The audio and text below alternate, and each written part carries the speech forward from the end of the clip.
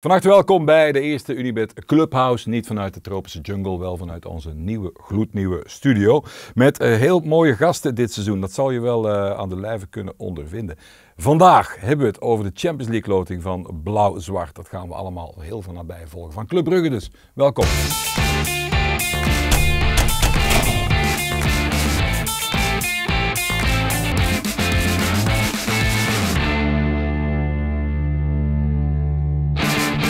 En die gasten vandaag, ik begin even aan de rechterkant, dat is Rodrigo Vissers. Hey mijn trouwe sidekick, alles in orde? Alles in orde, alles in orde. Spreek jij ook al Catalaans ondertussen? Uh, nee, dat is nog, nog iets moeilijker, uh, maar wel een eer om hier naast uh, deze genie te zitten van, ja, van Brugge. Ik moet hem even voorstellen. Ja, je moet hem, het, is, het is nu de eer. Hij is niet alleen een, een, foodie, hij kent alle hotspots van Barcelona tot in Brugge. Hij is chief business officer, hij houdt van kleine ballen en van grote ballen, want hij kan ook een potje golfen, denk ik. Uh, hij kan tennissen, uh, hij houdt van voetbal. Um, heeft hij de cup met de grote oren ooit gewonnen? Dat niet, Rodrigo, maar wel ooit een social media award uh, bij de voetbalbond, denk ik. Welkom, Bob Madou.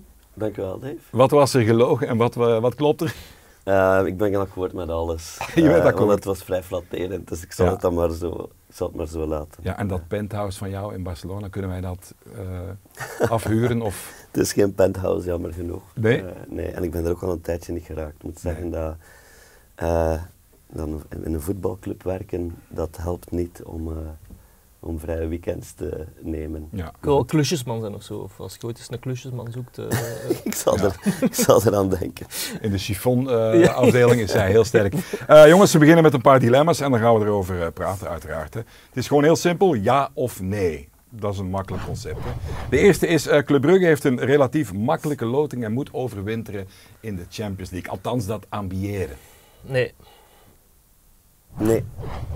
Oké. Okay. De tweede is, Club Brugge is financieel niet mee bij te benen door de rest. Nog niet, nee. Ja. Toch? Oké. Okay.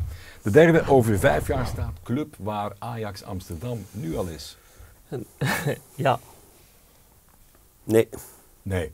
Uh, die loting, jongens. Uh, ja, Porto Atletico, uh, Leverkusen dat zijn ook niet de allergrootste kleppers. Dat doet dromen. Voor jou ook wellicht, bij die club. Ja, ik denk dat vooral het contrast met de, de voorbije jaren, uh, Real vorig jaar, PSG met de sterrenparade en City, uh, groot is. Hè. Het zijn niet dat soort uh, wereldmerken of, of namen, al, al, althans misschien Atletico wel. Um, dus doet dat dromen wel, het doet hopen alleszins. Maar um, ik denk dat onze voorzitter het goed gezegd heeft na de loting, waarbij hij zei, dit zijn ongelooflijk geslepen, gewikste ploegen die, die ook Europa kennen, die top zijn in, in, de top, in een van de top vijf competities. Dus um, dan moet je toch altijd een beetje nederig zijn ook, denk ik. Ja, het is ook gevaarlijk, hè, want Leverkusen blijft natuurlijk wel Bundesliga. Uh, Porto, daar speelt El Animal nog. 39 is hij ondertussen. Maar toch heb ik zo'n gevoel, Porto, Leverkusen, als ze in vorm zijn, een goede dag, zijn wel zaken ja, maar de, de, de, de, ontgoocheling van, van niet-Europees te overwinteren, denk ik dat dit jaar des te groter zal zijn, omdat de verwachtingen misschien uh, zo hoog liggen. En daarom denk ik dat het een, een ja, niet te onderschatte groep is. Uh, ja, Leverkusen, oké, okay, ja, we winnen nu wel uh, overtuigend. Dat zijn ook geen slechte ploegen samen met Porto, dus, dus het blijft Champions League. Um, dus, dus in die zin uh, volg ik wel wat Bob zegt. Dat, dat, ja, de, de verwachtingen zijn misschien gigantisch van een haalbare kaart, haalbare groep. Maar zo haalbaar vind ik die groep Nee, maar hebben wij niet een beetje Hollandse arrogantie nodig om te zeggen Club Brugge is de laatste seizoenen echt een, een merk op zich, ook sportief. Mooie resultaten, stabiliteit. Waarom niet uh, even dromen? Nee, maar de ambitie is er natuurlijk. Als je kijkt vorig jaar denk ik dat we, we waren dan twee keer kampioen. En voor de loting hebben we iets gezegd in de aard van nu is, is Europa uh, tijd. Ja. En dan loten we wat we geloot hebben en dan waren we al een stukje kalmer. Dus ik denk dat we wat dat betreft een beetje voorzichtig zijn. Aan de andere kant, je wordt er waarschijnlijk bij, als je ziet hoe spelers reageren. Ik herinner mij wat, wat Simon vorige week zei, als een speelbaar. Uh, dat doet wel plezier, dat, er, dat, dat die ambitie er is in de groep. En ik denk dat het belangrijk is hoe, hoe, zij erover nadenken dan, dan wat wij er dan over zeggen. Nee, als op papier denk ik dat Brugge een campagne kan neerzetten als, als, als Gent, zes, zeven jaar geleden. Ik denk dat dat ook een beetje een, een vergelijkbare groep toen was. en ja, laten we laat hopen voor Belgisch voetbal dat, dat dit jaar wel, want dan, dan, dan staat heel België achter ja. Brugge, denk ik. Wel lastig dat Atletico net in, die, in de buik zit. Hè. Dat, dat zijn cruciale wedstrijden vaak, hè, drie en vier. Maar dat is misschien, ja, João Felix, uh, Witzel en consorten, als die een, uh, een hele goede dag op niveau hebben, dat is misschien net. Ja, maar per definitie is elk van, ik bedoel, als je het objectief bekijkt, allemaal ploegen, andere budgetten dan het onze. Maar goed, als je naar het verleden kijkt, uh, op Real, thuis tegen PSG, hebben we ook resultaten neergezet. Ja. En ik denk dat er wel dat soort stunt zal nodig zijn als je als je door wil, al zeker in, uh, in de Champions League. Maar als je naar die, die kernen kijkt en de waarde ervan, het is ook niet dat het dan vaak dubbel, driedubbel, vierdubbel is. Want club, uh, gisteren even gecheckt, 159, Ajax is dan 213, waarde van de spelerskern, dat verandert met de transfers nog natuurlijk. Uh, laten we zeggen Porto, 244 op dit moment. Dat is ook niet zo ver boven Ajax en dat is ook niet het dubbel van club. Dus ja, Porto zou ik denken dat is ja, hypothetisch natuurlijk speelbaar. Um, ik denk dat we, dat we die ambitie moeten hebben tegen elk van die ploegen, zeker als het thuis is. En Leverkusen in de eerste plaats, die vroeg komen, wat misschien goed is, dat zullen we dan volgende week wel zien. Uh, dus die ambitie is er. En natuurlijk, een, een, de, de marktwaarde van de spelerskern zegt iets, zegt ook niet alles. Niet alles uh, natuurlijk, nee. Um, het, het, gaat ook over over, over ervaring op de, op de belangrijke momenten. Er zijn veel spelers in onze kern nu die nog niet dat soort Champions League, uh, die, die soort Champions League ervaring hebben. Um, dus, maar het kan en thuis, zeker tegen twee van de drie, moet, moet uiteraard ambitieus zijn. Waar denken jullie dat Leverkusen zit in dat uh, plaatje van uh, Dinero? ik, ik, was aan, ik, was aan, het wachten, ik was aan het wachten. Doe eens een gok. Brugge 159 ongeveer. Waar zit Leverkusen 89. Dan? Deutsche Grundlichkeit. Hoeveel? 189? 89. 89 miljoen. De minder ja, ja, ja, wat, wat, denk jij Bob? Die zullen een pak boven ons zitten, nee? Ja, die zitten op, uh, wat is het, 4,77 met Moussa Diaby, met Patrick Schick. Daar zitten jongens die wel wat, uh, die met de kruiwagen elke weekend langs moeten komen voor de, de witte envelop. Dat is toch dat had je niet gedacht, hè? Nee, niet gedacht. Uh... Nee, nee. In hoeverre is het voor jongens als uh, Hans, hè, die blijft dan, um, ja, er wordt wel eens gezegd, ze moeten dan weer de bus in naar al die clubs in België. Die routine heb je ondertussen, dat ben je gewoon, dan wil je iets meer. Dat is ook een factor die speelt, hè? Ja, maar als ik, me nu over, en... ja, als ik me nu over één speler wat dat betreft geen zorgen maak, denk ik, is het wel, is het wel Hans. Hij, hij is gewoon altijd op niveau en hij snapt en voelt zeer goed aan wanneer het er echt, echt toe doet. En dan denk ik dat hij nog beter wordt. Playoffs, uh, Champions League wedstrijden en zo is ondertussen toch ook uh, een echte rode duivel. Dus uh, wat, wat motivatie en focus van Hans betreft maak ik mij weinig zorgen. Stevige fundamenten, hè? jongens, die mentaliteit, Mignolet, Van Aken. Uh, dat is ook een factor om puntenwinst te pakken in de Champions League. Want die jongens houden een kleedkamer volgens mij echt wel overeind en intact als er alles iets is. Hè? Nee. nee, dat is heel belangrijk. Hans is nu ook uh, kapitein, maar was is natuurlijk al altijd een van de, van de bepalende spelers. En ik denk dat het zeer belangrijk is voor een kleedkamer als, als uw kapitein of als Hans gewoon elke dag van het jaar normaal doet. Dan wordt dat ook denk ik de, de standaard voor, uh, voor een kleedkamer. Ja. Dat een belangrijke Hoe was de reactie in, uh, in Istanbul bij de mensen van het uh, bestuur? is dat toch ontgoocheling of is dat toch van... Ah. iedere, iedereen denkt op zijn manier. Um, ik herinner mij dat we vorig jaar de toploting hadden.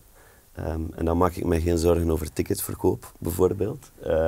dus dat was mijn eerste reflex als het om mij ging, van wow, dit is de maand september, niemand kan zijn energiefactuur betalen. En nu mini-abonnementen om te starten tegen Leverkusen. Het is toch anders dan vorig jaar Messi, Neymar en Mbappé. Kun je iets fixen En- voor mij? Want ik heb proberen inloggen en dat is een gedoe. En, Ja, eh, Ja, hey, dat zeggen ze allemaal ja, tegen ja, drie- ineens drie Hey. abonnementen kopen. En, Jij hebt ook proberen inloggen in het Belgisch Basecamp en dat is hem ook gewoon gelukt, want die loting, dat is altijd spannend natuurlijk, zitten de spelers uit te wachten op al die grote affiches. En wie sturen wij daar dan als mol binnen? Rodrigo Vissers, kijk maar eens mee. De loting van de Champions League. En wie is er uitgenodigd, dames en heren, op die officieuze loting? Mezelf. Fran, ¿qué es tu equipo, tu, tu grupo de sueños? Bueno, la verdad que me gustaría jugar contra, contra el Barça, también me gustaría pues, contra el Dortmund y contra el Milan. Vandaag staan we met heel Club Brugge en met heel veel supporters die de volgende ronde bereiken. Je mocht mijn zin aanvullen. Als Club Brugge de volgende ronde bereikt, dan. Dan ga ik mee. Dan. Alsjeblieft. Alsjeblieft. Ik hoop dat de club eh, ons goed organiseert om een goed hotel te vinden en om onze reis te regelen. En ja, hopelijk kunnen de supporters er eh, genieten van de wedstrijd. Veel succes, Simon. Merci. Dankjewel. Ja, dat is Simon. Hè. Eh, je kan alleen maar hopen, Europese way, dan wil je de gratis natuurfilms hebben en steek tartaar, of niet? Maar, maar ik moet zeggen, de, de, de catering was op Champions League niveau. Steak tartaar, eh, zalm teriyaki, mooi, hè? een uitstekend eh, glas champagne. Wij Dus- krijgen meestal sandwich in de Jupiler Pro ja, ik moet kaas. zeggen, ik ben daar verwend geweest eh, tot en met. eh, dus dank u wel, eh, Bob Madou. Ja. eh, ongelooflijk eh, catering. Dat lag aan jou, hè? Jij hebt dat gefixt, hè Bob? Wel, het is het enige moment in de Champions League dat je weet dat er geen grote ontgoocheling of verlies kan zijn. Dus eh, wat dat betreft het is ook niet zo dat de journalisten elke dag Basecamp bezoeken. Althans, anders gewoon zo in de perszaal. Dus dan, eh, dan willen we er toch altijd iets feestelijks van maken. En die Jugla die heeft een vriend voor het leven gevonden, want plots staat hij op de parking daar. Ja, en die ja. hoort even van, eh, oh zie, kom eens Ik, thuis. ik eh, kwam binnengereden en eh, ik, ik zag hem passeren. Ik dacht, ik ga mijn beste cursus Spaans nog eens bovenal. En, en, en je zag hem wel, wel, wel openbloeien, dat er, dat, er, dat er iemand Spaans tegen hem, vond dat leuk, hem, sprak. En, en je merkte wel dat hem dat apprecieerde. En, eh, wel, het was fijn om te zien. Mocht je hem eigenlijk interviewen? Eh, de- de- Niet antwoorden. Ongetwijfeld niet. Ongetwijfeld, maar, niet vrees ik. Eh, dus die ticketten, dat komt niet in orde, denk ik, na, na, na Ja. het bekijken van die video. eh. Ja, ja, nee, ja. maar leuk, onge- ongelooflijk eh, leuk. leuk Zeg, hoeveel punten gaat Club pakken in die poelen, jongens? Ze gaan volgens mij eh, stunten op Leverkusen. En eh, ze gaan volgens mij eh, ook thuis een eh, drie punter pakken. Dus zes punten, zeg ik. En wat denk jij? Dat Maar is ik denk, als we, als we aan zes geraken, dan, dan kan derde plaats. Ik denk dat het dat ambitie, ik weet niet, moet zijn om het onderlinge duel met, met Leverkusen te winnen en er daar vier te halen. En dan nog ergens iets te sprokkelen. Hé, maar misschien wint Blauw-Zwart die groep wel gewoon. Het is toch voetbal? Alles kan toch? Ja, kijk naar eh vorig Alles jaar. rond. Sheriff FC. Sheriff, eh, Oh, oh, we zitten niet in de Red Light District, maar Dimi die heeft in de coulissen alles eh, gevolgd. En die, eh, die mag heel af en toe, als hij dat eh, beleefd doet, met twee woorden spreekt, mag hij af en toe inbreken. Dus we zijn heel benieuwd. Meneer Peters, Club Brugge gaat volgens mij minimum derde worden in zijn poelen. Dus eh, ik zie het wel positief voor Brugge. Ik denk dat ze volgende week tegen Leverkusen thuis een hele goede kans maken. Ik zie ze meer dan zes doelpunten maken. Bij de outright bij Unibet staat een mooie quotering op. Meer dan zes doelpunten in de hele groepsfase. Ehm, en ja, minimum een derde plaats. hey, kijk eens aan, dat doet ons dromen. In België zijn we voor elk team eh, Europees natuurlijk. Hè. Dan mogen we een beetje bevooroordeeld zijn. Maar eh, Bob, je haalt dan Onjedika, je haalt Jaremchuk. Daar had ik even een tweetje over gestuurd van Club Brugge. Now I'm impressed. Die heb Vond ik wel- gezien, ja. Ja, vond ik wel... ik denk dat ik die geliked heb zelfs. die hakte er wel in. Dat vond ik Remtjuk straf bedoel je? nieuws, ja. Dat is echt een goeie. Ja, wel, dus dan kunnen we veel praten over ambitie, maar ik denk dat dat de ambitie toont. Ja. Ehm, Dan zeg je toch gewoon, wij worden tweede in die poelen met die jongens.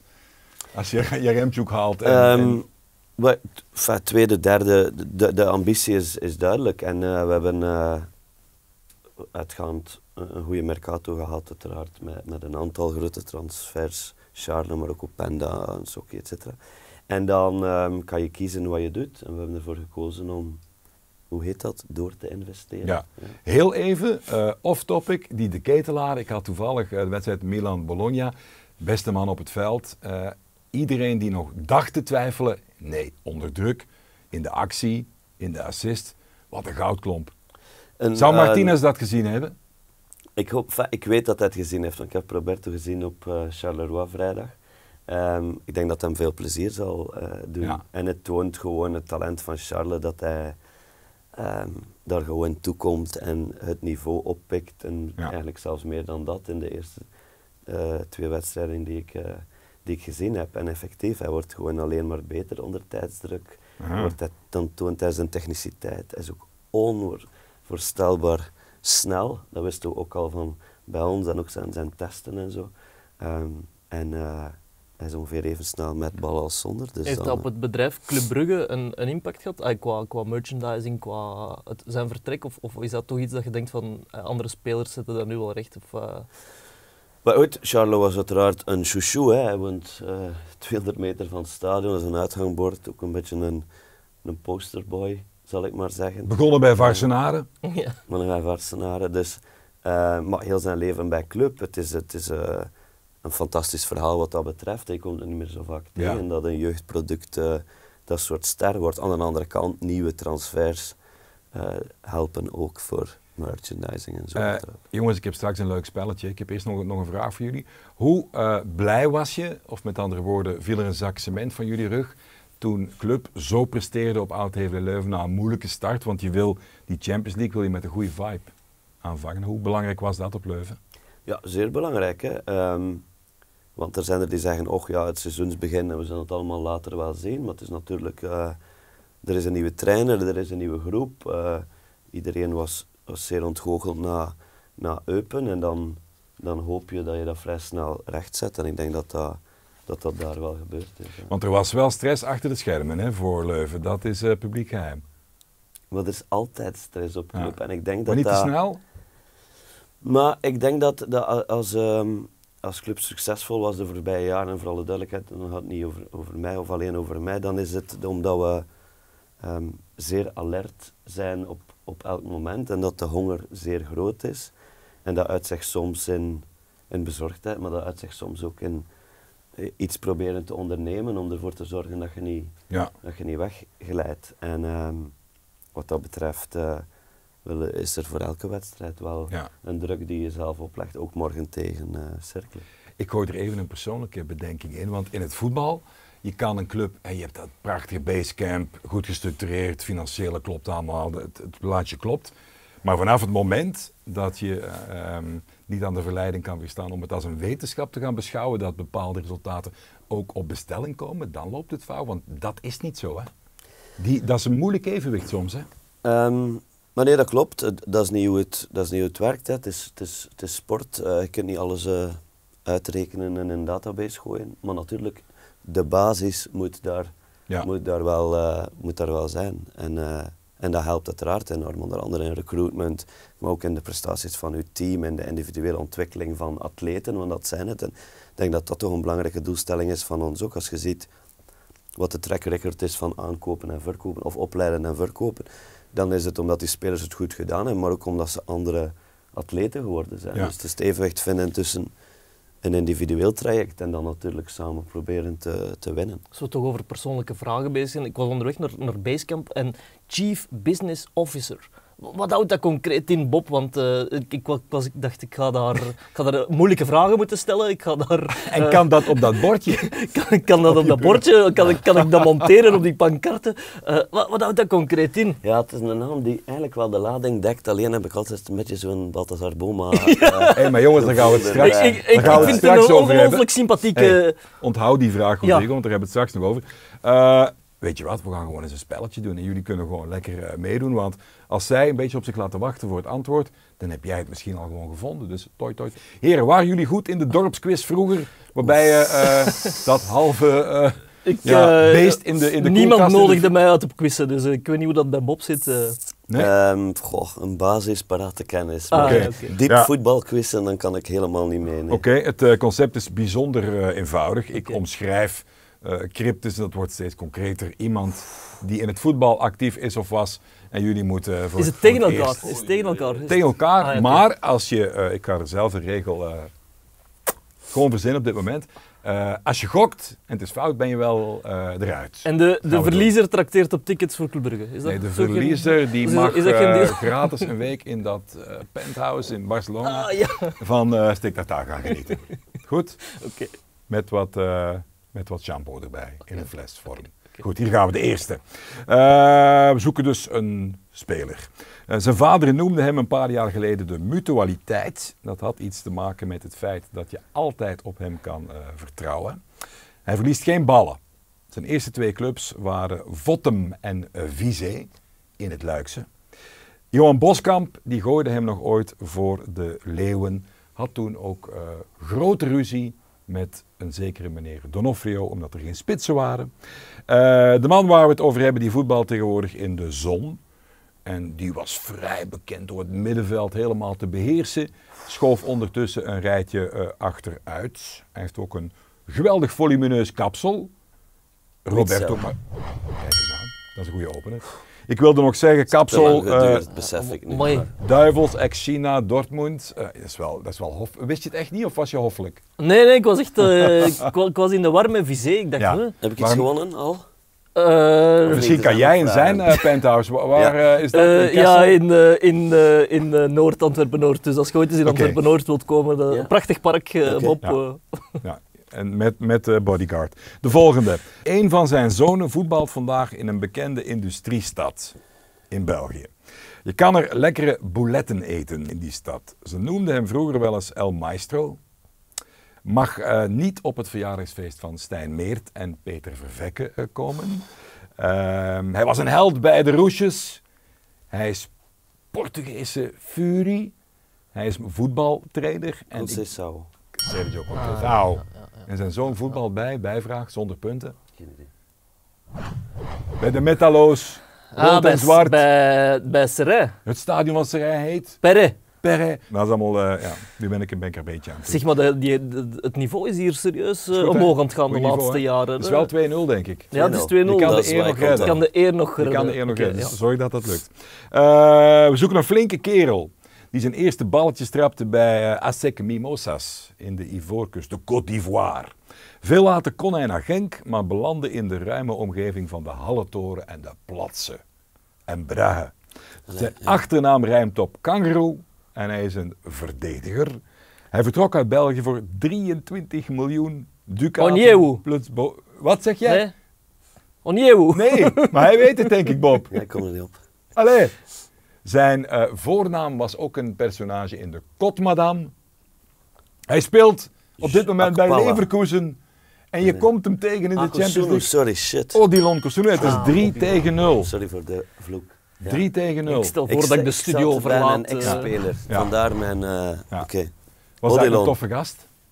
Hoe- En ehm, zoals wel vaker bij zij die dan, dan doorbreken, was dat een heel stabiele, in zichzelf gelovende, goede gast. Ja. ja. Ik herinner mij, ik geloof dat hij net bij ons was. Ik kom ergens van een Noorse club of zo. Noor Noorwegen, of ik weet niet. Dus wat Ja. maakt niet uit. En dat Philippe Clement vroeg wie denkt, wie denkt eh, wie zou de snelste zijn van de groep op dag één. En hij zei, ik denk dat ik dat zal zijn. Amai. Dus, ehm, en, en, hij, en hij was ook de snelste, om maar te zeggen. eh, Hij had voldoende, maar op een goede manier eh, zelfvertrouwen. Ja, ja. ja. Komen we terug bij die geweldig intelligente vraag van jou, inderdaad. Chief Business Officer. Officer. Alles wat geen voetbal is. Eh, dus ehm, alles met betrekking tot fans, ticketing, membership, digitale producten, ehm pers en media, marketing, sociale media enzovoort. Dan alles met sponsors en partners en dergelijke. En dan alles met stadion, matchorganisatie. Dus alles wat je bij een club ziet, wat niet de spelers, de ploeg of, de, of die omkadering is, zit bij mij. En we zijn in directie met drie. Ik doe de business, Vincent doet als CEO ook het sportieve en een eh, chief finance die ons Ja. geld Is eh, de lengte van je titel ook recht evenredig met de lengte van je paycheck? Wel, de spelers verdienen meer, kan ik je zeggen. Ah, Oké. Ik vraag me wel af, want er zijn van die leuke dingen bij dat, dat, dat eh, voetbalfans niet altijd weten. Als de Champions League voorbij komt en je zit in de persruimte en er is een koffieapparaat van een ander merk dat niet sponsort, dan moet dat zelfs afgeplakt worden. Hè? Hoe ver gaat dat, dat commerciële gegeven van Champions League? Ja, uitzonderlijk ver. Ehm, wat, wat zeer complex maakt in organisatie, vooral in een stadion zoals het onze, want ehm, het is er niet voor geschikt. En UEFA legt zeer veel richtlijnen op, omdat ze natuurlijk enerzijds die uniformiteit willen houden op elk tv-beeld, overal van elke wedstrijd. Anderzijds omdat zij een pak sponsors meebrengen die zij veel beloofd hebben. Ehm, dus het is vaak vloeken op hoeveel je moet aanpassen. Eh, nu, als dan de betaling van de Champions League komt, dan eh, kan je het wel in perspectief plaatsen. Maar het is uiteraard eh, het is een heel complex gegeven en dit jaar is het eh, nog moeilijker. Ja. Loting vorige week en volgende week dinsdag spelen, dat is een, een, een laten we eerlijk zijn, te korte tijd om, om optimaal te kunnen organiseren. Zijn zo betalingen, dat vraag, zijn, zijn die dan in schijven? Of is dat opeens zo, eh, hup, 40 miljoen Champions League op de rekening? Ze zijn in schijven, ja. Want natuurlijk, het- uw, uw, uw geld wordt op basis van een aantal parameters bepaald. Eerst en vooral uw groepsfase deelname, dan uw coëfficiënt in functie van uw land. En dan hangt het er nog vanaf of dat er meerdere ploegen in uw land zich kwalificeren. En dan ehm, uw sportieve prestaties in de groep. Ja. Wa- is het ben is het een het- bitcoin? Of? Het is niet in bitcoin. Nee, het is, eh, Nee, in wa- euro waar ben je het meeste trots op? Eh, de verwezenlijking binnen Club Brugge, binnen uw functie, dat je denkt van, dit heb ik goed gedaan. Wel, je bent vorige week in onze studio Ja, eh, ja geweest. top. En dit ongelofelijk. is een heel mooie, mooie studio, ook al is hij zeer groen. Ja. Maar ehm, eh, het, het, ik denk dat, dat niet, ik ben niet trots op het feit dat we een studio hebben, maar gewoon, we hebben geprobeerd om niet gewoon een voetbalclub te zijn, maar ook een beetje een mediamerk eh, te worden. Ja. Eh, voor onszelf, voor onze fans, maar ook voor, voor, voor commerciële partners. eh, onder andere ook eh, Unibet uiteraard. Ehm, en ik denk dat die transitie wel gelukt is. En als je ziet wat clubs in het buitenland doen en ook hoe we navolging krijgen in, in België, dan, dan ben ik daar wel trots op. Dat was een tv-waardige studio. zal wel zijn. En hij gooit er even een referentie in. Groen, groen, groen. Dan komt, ik ben een quizzer en dan komt er een quizvraag in me boven. Hè. Eerst even vragen. Wie is je favoriete eh, team in het groen? Eh, kies er eens eentje uit. Een favoriet Ja, team die, in het die groen? groen in de clubkleuren hebben. Geen idee. Celtic of zo? Ja, vind ik mooi. Vind ik een mooie. Ja, ik wou, Tony Watt. Ik, ik wou ook Celtic zeggen, Ja, Tony ja. Watt. eh. Kleine quizvraag er doorheen. Wat was het eerste clubteam in België eh, uit Vlaanderen, dus het Vlaamse clubteam, dat kampioen werd in de nationale reeksen in 1911? We zoeken een Racing club- Mechelen. Ja. Nee, Ah, groen. Nee? nee. Racing Mechelen. Nog, eh, je mag nog een gokje? Het, het, ja, het zijn een beetje eh, buren van ons Bob. Cercle. Echt waar. Straf, hè? Dat eh, heb ik dan verdrongen of zo. Nee, ik Ja, ik heb niet. telefoon gehad van Karel Hoefkes en van Bart Verhagen. Die zeiden van, eh, proberen dat woord eens uit zijn mond te krijgen. Dan moet hij 50 euro in de pot gooien. Dus je hangt eraan voor de moeite. Maar ik heb over racing en, eh, racing en Café Mechelen nog een verhaal gehoord. Dat blijkbaar, waarom worden de kakkers de kakkers genoemd? Ja, maar dat ken ik. Dat is van de, de wachtrij. En dat Ja. je moest naar het toilet. En dan is een andere voor. Ongelooflijk Ja, dat verhaal. Ongelooflijk dat- verhaal. Dat, dat, dat, dat leidt ons heel ver weg. Maar, Dat eh, zou ons te ver leiden. Ik heb nog één afrondende vraag eh, voor jou. Eh, het zwaard van Damocles, hangt dat boven jouw hoofd soms als je denkt van ik moet hier een financiële of een business eh, beslissing gaan nemen. Ik moet dit wel of dit niet doen. Dit gaat een impact hebben op, eh, op het functioneren van de club. Is het zo effectief? Speelt Goed, dat ik, soms? ik denk dat mijn rol vooral is om die inkomsten die stabiel zijn te genereren en die te proberen te doen groeien, zodat er daar een, een basis is. Ja. En daarnaast ehm, worden er grote beslissingen genomen, gelukkig niet alleen door mij, ehm, maar door eh, ons allen en ook onze, onze bestuurders over, laten we eerlijk zijn, gigantisch grote bedragen als, eh, als je in een Mercato Ja. zit, die een, een zeer grote impact hebben op, op één beslissing. Ja, dat is zo.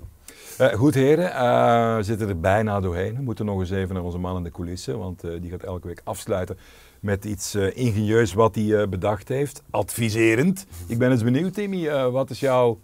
Bed van de week. Ja, we gaan gewoon winnen tegen Leverkusen. Club Brugge wint tegen Leverkusen. En ik zie ze ook minimum twee doelpunten maken. En weet je wat? Jutkla gaat scoren. Ik straf. En hij zegt, heb je gehoord? Hij zei, wij hè. Je weet toch allemaal dat hij met een witte puntmuts opslaapt en een blauw-witte onderbroek en ergens in eh halverwege Limburg op Maar hij is, zit. hij is chauvinistisch. eh, hij is chauvinistisch. eh, Ja, ja. ja, ja. Eh, jongens, de eerste zit er gewoon keihard op. Eh, mag ik jullie van harte bedanken? Absoluut, Ik dank wil nog wel om leuk. ons eh, uit te nodigen. Dank u wel voor de stick tartaar trouwens. Eh stuurt de factuur maar naar jullie bed. eh, en dan, eh, Dat was met veel plezier. Ja.